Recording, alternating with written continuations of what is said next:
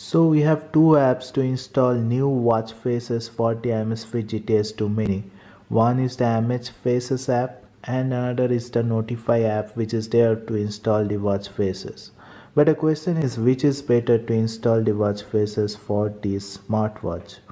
So if you download the watch faces from the Notify app you can see that you will not be able to differentiate the watch faces as most of the watch faces are same but after installing it will be different also it will not show you the animated watch faces in an animated fashion and you will not be able to see whether there is an always on display for the watch face or not. On the other hand in the MH faces app once you open it you can see that the watch faces are unique and it will also show you if there is a variant of the watch face. So here you can see the watch face variants are there you can choose which variant to download from here and once you have chosen that variant of the watch face will be downloaded. Also you can see whether there is an always on display and if there is an animated watch face it will show you the animation on the app only before the download in the Amazfit GTS 2 mini. How cool is that?